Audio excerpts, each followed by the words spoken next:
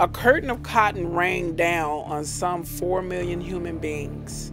It became a crime to teach these men and women to read and write. It became a crime to give them a Bible. Behind the cotton curtain, 4 million human beings were systematically deprived of every right of personality. Vice, immorality, and brutality were institutionalized. The sanctity of family was violated, Children were sold, and mothers and fatherhood, in effect, was outlawed. The rape of a slave woman, a Mississippi court ruled, is an offense unknown to common or civil law.